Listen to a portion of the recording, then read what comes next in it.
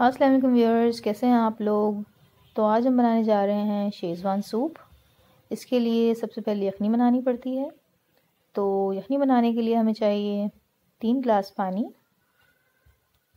और 250 gram chicken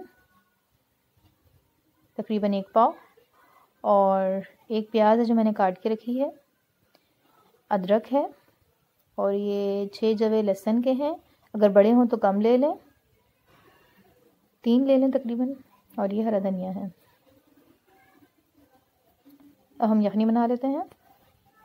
देगची में हम सबसे पहले पानी डालते हैं। ये तीन गिलास पानी है, आप चाहें तो बढ़ा सकते हैं। जितना आपने सूप बनाना है।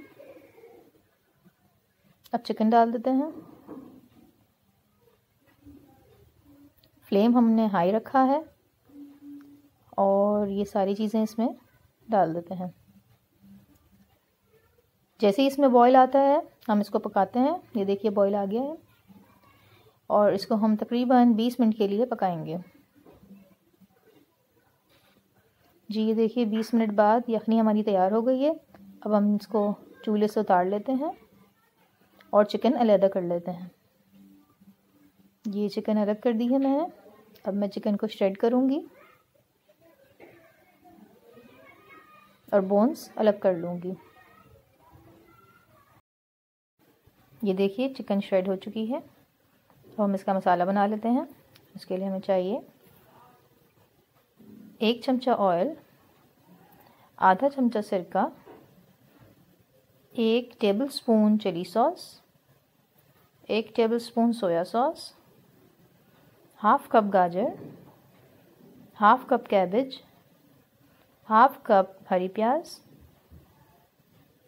दो चम्मच कॉर्नफ्लावर है टेबल स्पून एक चम्मच बड़ा केचप है, एक अंडा है, एक चमचा लहसुन अदरक का पेस्ट है, आधा चमचा काली मिर्च, एक चम्मच चीनी और आधा चम्मच नमक। अब मसाला बना लेते हैं। देगची में सबसे पहले ऑयल डालते हैं। ये एक टेबलस्पून ऑयल था। सबसे पहले लहसुन अदरक का पेस्ट जाएगा। एक चम्मच। और अब सब्ज़ियाँ फ्राई कर लेते हैं। हरी प्याज।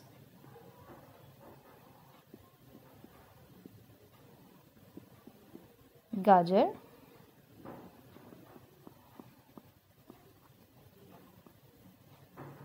और कैबेज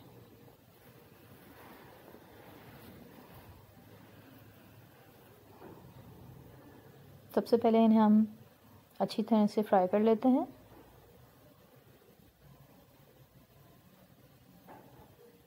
इसके बाद हम इसमें जो यखनी हमने अलहदा करी थी, वो डालेंगे. ये देखिए,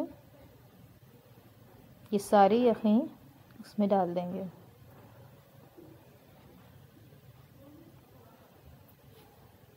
अब हम मसाले डाल देते हैं। नमक, काली मिर्च और चीनी।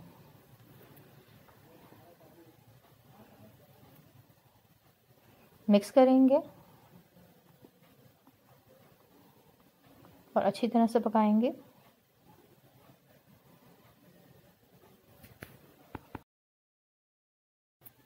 अब हम इसमें श्रेड करी हुई चिकन डाल देंगे। बोन्स हमने अलग कर ली थी इसमें से।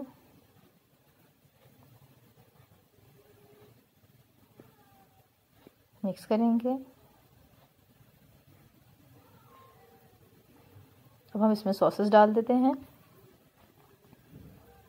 सबसे पहले सिरका डालेंगे। उसके बाद सोया सॉस और चिली सॉस। आप इसमें हॉट सॉस का भी इस्तेमाल कर सकते हैं। और इसके साथ साथ हम इसमें केचप भी डाल देंगे, जो कि एक चमचा थी। अगर ज़्यादा मीठा आपको चाहिए तो आप बढ़ा सकते हैं केचप भी। मिक्स करेंगे। और इसको अच्छी तरह से पकाएँगे।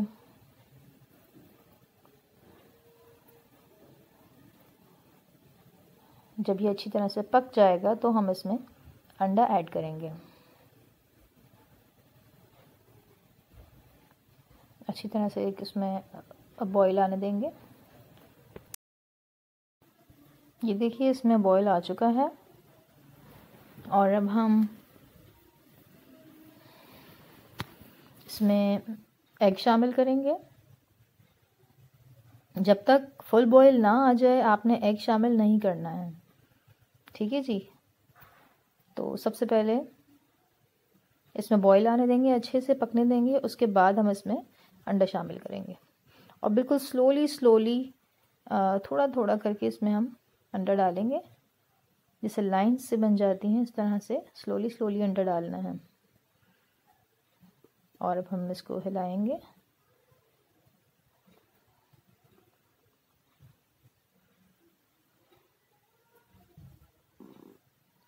अब इसको हमें अच्छे से पकाना है।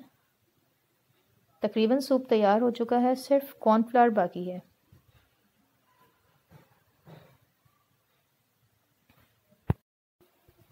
ये कॉर्नफ्लावर मैंने पानी में घोल लिया था और इसमें शामिल कर देते हैं।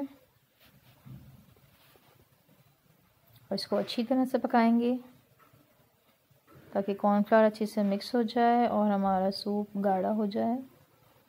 इस स्टेप पे हम तकरीबन इसको दो तीन मिनट तक अच्छी तरह से पकाएँगे। और जो भी आपने मसाले वगैरह देखने हैं, नमक कैसा है, वो आप इस स्टेप पे चेक कर सकती हैं। बस ऐसे ही दो तीन मिनट पका के हम इसे डिश आउट करते हैं। अब फ्लेम ऑफ़ करते हैं और इसे एक प्यारे से बोल में निकाल लेते हैं।